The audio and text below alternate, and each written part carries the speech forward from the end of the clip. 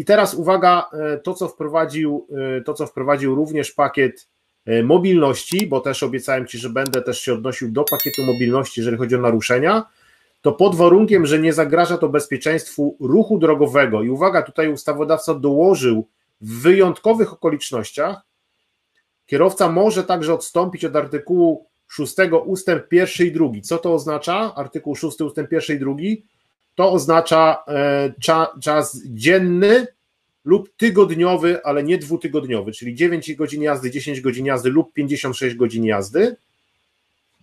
Oraz artykuł 8 ustęp 2. Artykuł 8 ustęp 2 mówi o, o czasie pracy, czyli o odpoczynkach dziennych, czyli jeżeli są te specjalne okoliczności, to wtedy może kierowca przekroczyć dzienny i tygodniowy czas prowadzenia o maksymalnie jedną godzinę, aby dotrzeć do centrum operacyjnego pracodawcy lub swojego miejsca zamieszkania w celu wykorzystania tygodniowego okresu odpoczynku.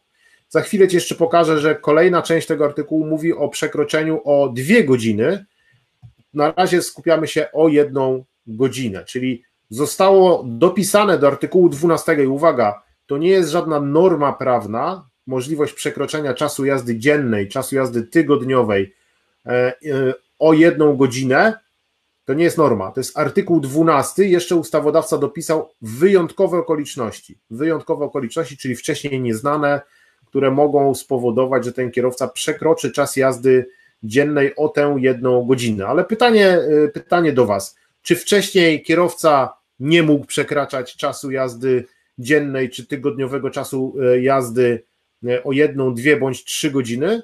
Pytanie do Ciebie, nie mógł czy mógł? Co mówił artykuł 12? Artykuł 12 mówił, że w wyjątkowych sytuacjach mógł przekraczać te normy z artykułu od 6 do 9 oczywiście nie podawany, był czas. Czyli tak naprawdę artykuł 12 wcześniej też pozwalał na tego typu odstępstwa. Oczywiście szczególnie trzeba było opisać, natomiast teraz zostało to doprecyzowane, że tak naprawdę ten czas jazdy dziennej czy tygodniowej może być przekroczony maksymalnie o jedną lub dwie godziny, czyli może się okazać za chwilę, jeżeli taka będzie interpretacja inspektorów, że już o trzy godziny jak twój kierowca przekroczy, no to się, to nie będzie to uznane. Tak, może tak, może tak być bo maksymalnie mamy napisane albo o godzinę, albo o dwie to odstępstwo. I teraz kierowca musi wskazać powody takiego odstępstwa, więc jeżeli korzysta z tej drugiej części artykułu 12, to ma to wpisać najpóźniej po przybyciu do miejsca docelowego lub odpowiedniego miejsca postoju. Czyli tu już nie ma e, informacji, że ten opis, ten wydruk ma być zrobiony na najbliższym możliwym postoju, tylko nawet może on być zrobiony po przybyciu do miejsca docelowego. Przypominam Ci, że kierowca wtedy, jak przekracza ten czas jazdy o godzinę bądź dwie, to musi zjechać na odpoczynek tygodniowy, czyli z reguły odpoczynek tygodniowy będzie na bazie, no bo tak, tak mówi ten przepis, czyli on musi wrócić do centrum operacyjnego pracodawcy lub swojego miejsca zamieszkania. I teraz druga część czyli to, co wam, to podsumowanie tego, co powiedziałem, czyli albo dzienny czas prowadzenia pojazdu 9 lub 10 godzin, przekraczał tą godzinę, albo czas tygodniowy, czyli 56 godzin. I oczywiście czas pracy również w tym przypadku może zostać y, przekroczony. I na tych samych warunkach, na tych samych warunkach, które Ci czytałem y, poprzednio, na poprzednim slajdzie, może kierowca przerwa, przedłużyć ten czas jazdy tygodniowy bądź dzienny o dwie godziny, ale wcześniej musi zrobić przerwę 30-minutową bezpośrednio przed tym wydłużeniem i musi zjechać na odpoczynek 45-godzinny, czyli regularny tygodniowy na, do tego centrum operacyjnego pracodawcy lub swojego miejsca zamieszkania. Zaraz Ci to pokażę dokładnie na wykresach, jak to będzie wyglądało i potem oczywiście w programie Fortrans też sobie te rzeczy przećwiczymy. Kierowca oczywiście musi wskazać znowu odręcznie na wykresówce lub na wydruku, najpóźniej po przybyciu do miejsca docelowego lub odpowiedniego miejsca postoju. Każdy ten wydłużony okres pracy, to dalej jest artykuł 12, musi być zrekompensowany, skompensowany równoważnym okresem odpoczynku, wykorzystanym jednorazowo przed końcem trzeciego tygodnia następującego po danym tygodniu. Ta rekompensata myślę, że tu problemu nie będzie, bo to będą te godzinne bądź dwugodzinne wydłużenia, więc zrekompensowanie tego czasu problemem nie będzie. Jak to wygląda w praktyce? Więc jeżeli chodzi o wydłużenie o jedną godzinę, tylko wtedy, kiedy twój kierowca zjeżdża na odpoczynek co najmniej 24-godzinny na bazę, czyli do Polski, oczywiście należy pilnować, żeby jednocześnie nie było naruszenia związanego na, tak jak tu, z czasem jazdy ciągłej, czyli kierowca jadąc 4,5 godziny w tym ostatnim odcinku, potem stanął sobie tylko na 30 minut i przekroczył o tą dodatkową godzinę ten czas jazdy dziennej, ale niestety nie zadbał o to, żeby tutaj zrobić prawidłowo odpoczynek 45-minutowy. Nie zawsze on będzie wymagany. W tym przykładzie, akurat, który Ci wyświetlam, no musiał być y, odebrany, żeby nie było naruszenia. I oczywiście podkreślam to jeszcze raz, jest to wpisane do artykułu 12 jako odstępstwo od przepisów. Więc to jest ważne, informacja ważna dla wszystkich kierowców. To nie jest norma prawna, to jest odstępstwo od przepisów w szczególnych okolicznościach, czyli bezwzględny wydruk z dnia naruszenia i opis. I o dwie godziny, kiedy? Wtedy, kiedy zjeżdża Twój kierowca na odpoczynek 45-godzinny, również na bazę, ale wtedy musi odebrać przerwę trwającą co najmniej 30 minut. Tak jak tu widzisz, w tej chwili kierowca zrobił przerwę akurat 45 minut, czyli dlaczego poprawnie? Dlatego, że wcześniej była jazda 4.30, więc musiał stanąć na 45 minut i potem jeszcze pojechał dwie godziny, ale niestety ta jazda skończyła się w Niemczech, czyli naruszenie będzie, bo ta, ten odpoczynek musi być odebrany na bazie przedsiębiorstwa. Taka dygresja to, co mówię, też pamiętaj o tym, y, to jest stan faktyczny, stan prawny na dzień 20 października 2020 roku. Nie ma jeszcze wytycznych do pakietu mobilności, to taka moja dygresja do tematu. W tej chwili bardzo mocno Niemcy, Anglicy, chyba Holendrzy też, yy, mówią wprost, że niekoniecznym będzie, będzie zjeżdżanie na bazę, czyli do siedziby przedsiębiorstwa kierowcy, yy, co te 3 bądź 4 tygodnie, to już mówię akurat o innym przepisie, E, także zobaczymy, w którym kierunku to będzie ewoluowało. Czyli mówiąc krótko, co będzie tą, tą bazą e, przedsiębiorstwa, którą będą uznawali inspektorzy przy weryfikacji tego typu naruszeń. Tu na razie czekamy. Na razie bezpiecznym, e, bezpiecznym rozwiązaniem jest oczywiście zjazd do siedziby firmy, czyli jeżeli mamy firmę polską, to do siedziby w Polsce.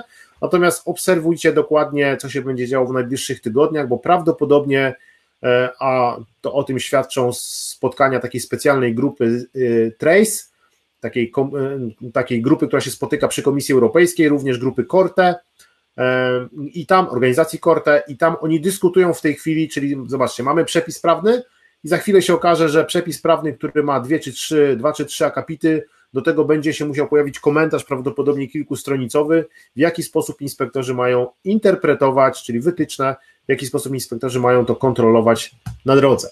Także na razie ja podpowiadam e, sposób bezpieczny, czyli wracam do Polski, czyli kierowca wraca do Polski.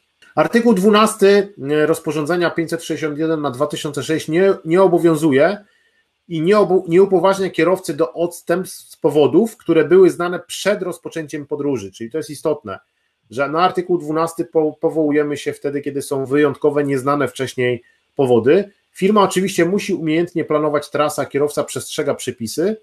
Nie może być tak zwanych oszczędności czasowych, czyli jeżeli już wydłużasz czas jazdy, chyba że korzystasz z tego ostatniego odstępstwa, które ci przed chwileczką mówiłem, czyli to o tą godzinę bądź dwie, wtedy ok, może się też czas pracy wydłużyć, ale jeżeli z innego powodu, czyli na przykład nie zjeżdża twój kierowca na odpoczynek tygodniowy, tylko jest to w trasie na zwykły odpoczynek dzienny, kierowca powiedzmy nie mieści się w tym swoim czasie pracy i E, i załóżmy nie zmieści się z, odpoczynkiem na przykład skróconym 9-godzinnym, tylko zmieści się, nie wiem, z 8-godzinnym, no to ja i tak zachęcam, inspektorzy też tego pilnują, żeby raczej tą dziewiątkę odebrać, mimo że ona nie będzie, czy jedenastkę, mimo że ona nie będzie zmieszczona w dobie, czyli żeby nie było takich oszczędności czasowych, takiego myślenia, a i tak już się spóźniłem, i tak mam czas pracy przekroczony, no to sobie wyjadę wcześniej i tak dostanę karę, i tak dostanę karę, więc inspektorzy też to e, analizują.